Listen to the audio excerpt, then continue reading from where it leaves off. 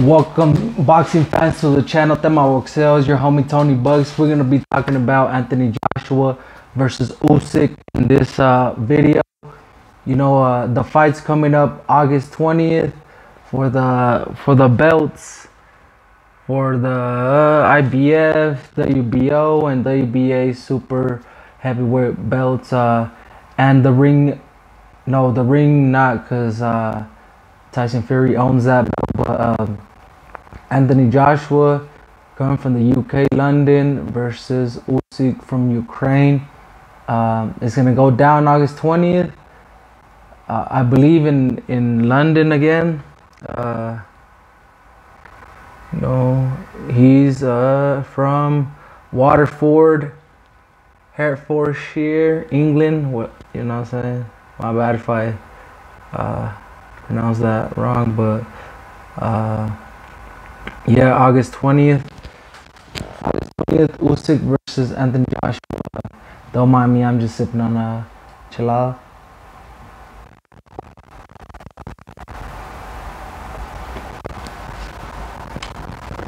But anyway, um, like I said, the rematch fight, the first fight, uh, you know what I'm saying? it but he lost it for not being uh, not being uh, active enough. You know, uh, he got out hustled by Usyk.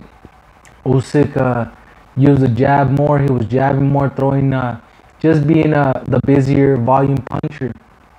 And AJ didn't have nothing to, you know, to counter uh, Usyk's elusiveness. As you know, what I'm saying he was like the Usyk is like the Loma of the heavyweights, you know what I'm saying? Because he was a cruiserweight, became undisputed at cruiserweight, moved up, but being uh, being a cruiserweight, 204, you know, usually what the cruiserweights be fighting, uh, you know what I'm saying? Uh, he came up challenging. Uh, he got, I think, Usyk got like two fights in uh, the heavyweight before uh, going up to heavyweight before getting a crack at like AJ, he was the him and Top Rank were really putting pressure to uh, get a championship fight, you know, and he got it, and he he beat AJ, but uh, he beat him by outworking him, out jabbing him, and you know, uh,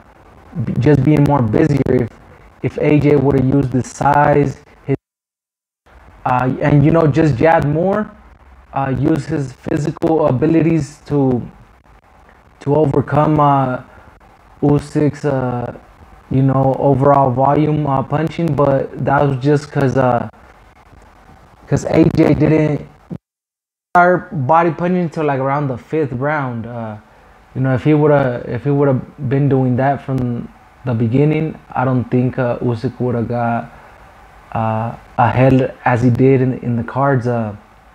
But I mean, AJ thought he was winning, but it was a close. I think it was a close fight. Uh,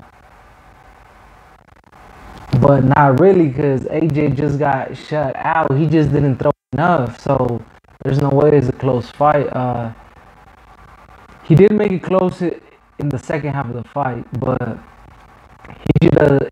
If if AJ would have at least did what he did throughout, you know, some of the rounds that that he had good, but he didn't have many.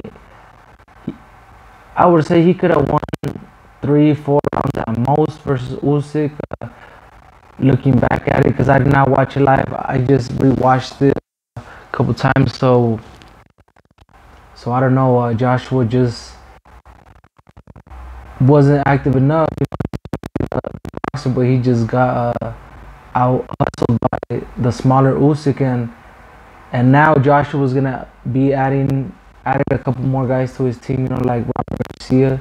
Let's see what Robert Garcia, the you know one of the legends from uh, from Cali, making like 14 world champions. So let's see if, if Robert can add something to his to his game. You know, I think he could.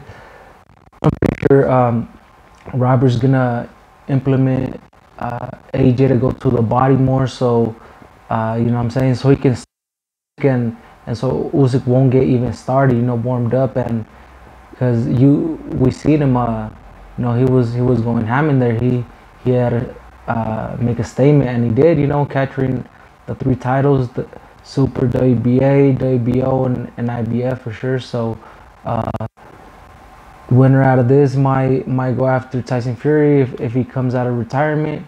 If not, for his vacant, someone's gonna fight for his vacant uh, WBC title. So, I mean, uh, you know, Wilder might be getting a crack at it if if uh, Tyson really. But in this fight, uh, like I said, I'm rocking with AJ, but he has to he has to come with a good game plan. Hit the body, hit the body, and and just don't let Usyk um, out hustle him and and throwing more more punches. So he just gotta go in there and from you know from the first bell, Usyk is gonna go in there and and try to establish his jab right away. So uh, if he does that, you know, Joshua's just gonna have to counter with his jab and then uh, and work the body, work the body early so so you can kill the body and you know what I'm saying the head will fall after. So uh, you can go after the KO after that, but from the beginning he should be going to the body so he won't get uh, he won't let Usyk get in a rhythm and and you know what I'm saying? As long as he goes to a body because he he did uh slow him down in the first fight from like uh, the fourth to like sixth round. Usyk uh, slowed down but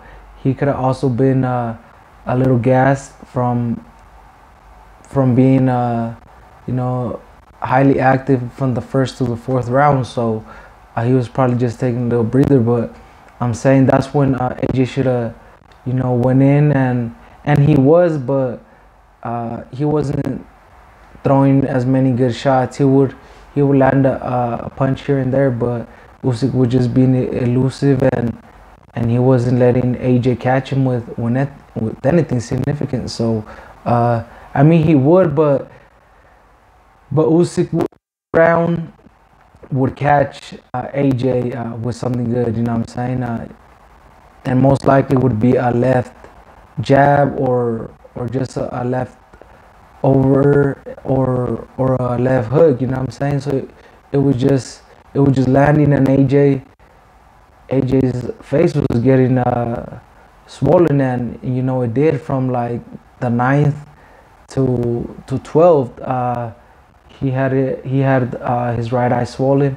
And you know Usyk did get um, his skin uh, pierced by AJ's uh, fist as well like around the 11th so you know what I'm saying? They were exchanging shots but I just believe uh, if AJ wants to regain his titles he has to go in there with with uh, I have to knock this guy out mentality or just uh, throw more in volume. So you know, I'll outwork Usyk, but I don't see I don't see AJ doing that since Usyk is the the smaller man. You know, the more faster faster man. So um, that's that's how we AJ struggle when like he fought uh you know in Andy Ruiz too with the fast hands. He was dealing with fast there, but here uh, he's dealing with the high volume of Usyk and then uh, you know that movement. Just that movement is uh you know AJ is is a big guy at at what's his height like six six. And you're looking at Usyk's like around what six two? Six two around around there six one. Um but he he had he had size on uh he had size on on Usyk, but he still, you know what I'm saying? He still uh wasn't enough. You know, he's six three. Uh, like I said, the cat. You know what I'm saying? He he's really uh, one of the goats as well from like uh, the Olympics and and the amateurs. You know what I'm saying? Having winning gold at heavyweight, London 2012 Olympics, world champions, gold and bronze uh, in Milan 09 and 2000 gold uh, medal champion, European champion, Liverpool light heavyweight, you know what I'm saying? And uh, bronze medalist 06 in Plovdiv, middleweight Europe in Europe somewhere in 08, Moscow, silver in heavyweight, you know what I'm saying, and another gold, but um, Usyk, you know what I'm saying, Usyk is is one of those Russian Europeans that come with that pedigree of, of amateur boxing, you know, as as like a lot of those Cubans, but as of uh, recent, it been the the Russians and the, the Eastern European uh, winning titles in our division. So they're the ones that really been uh, making noise. But like I said, I have. I think if Joshua can come with a good game plan, he can for sure uh, defeat Usyk. Um, if he can utilize his size and reach good, I think he can knock him out. Because uh, he catch Usyk like in the ninth to tenth round. Shot, you know, he kind of dazed. Uh, I mean, Joshua just didn't finish, so he let Usyk survive, and and you know he he took them titles back to uh to Ukraine. So so now um, Joshua's for sure gonna you know hopefully he comes back strong because uh, he's for sure one of my favorite fighters, Joshua, and and I think uh, I like him better as champion. So uh, I mean Usyk's cool too, but I just think uh, AJ Swagger is, is doper. So you know what I'm saying, big AJ fan. Shout out to all my people in the UK. You know what I'm saying that that watch uh, the channel. But shout out to y'all. But yeah, man, you know I fully support. I'm with the UK in this in this rematch and and with AJ. So you know what I'm saying I'll be rooting for him and and hopefully he wins. I think he'll be he he did all right uh, the first fight. I just think he needed to throw more. You know what I'm saying and and he could for sure win the fight. But uh, we'll see what game plan he comes up with.